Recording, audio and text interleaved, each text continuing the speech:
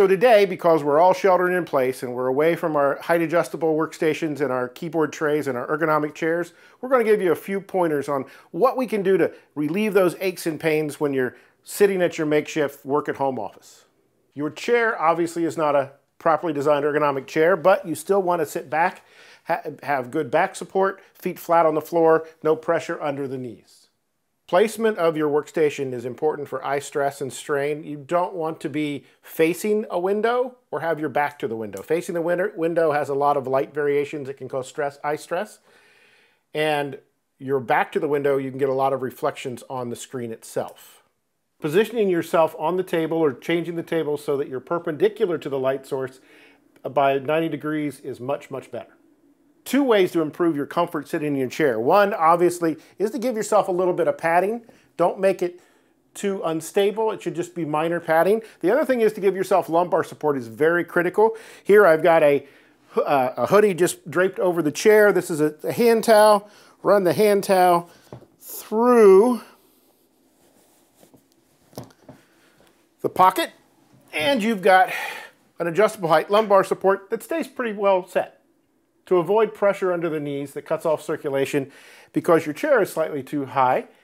Use a ream of paper, a large book, something that gets your feet up off the floor, but yet is stable.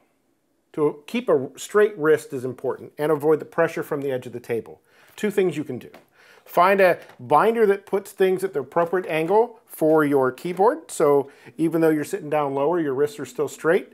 I've just got a three ring binder with paper clips taped on, bent paper clips taped on and then have a side table for your mouse. You're not reaching, it keeps the shoulders relaxed. To get papers off the desk, come up with your own copy holder. I've got some Legos from the kids, a pad of paper, and a chip clip to make my own copy holder.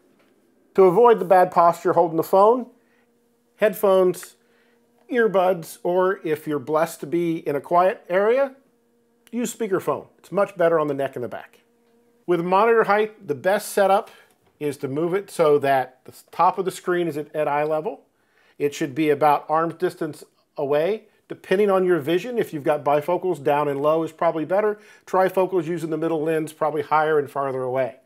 If you've got a laptop, you should always have a monitor with it if possible.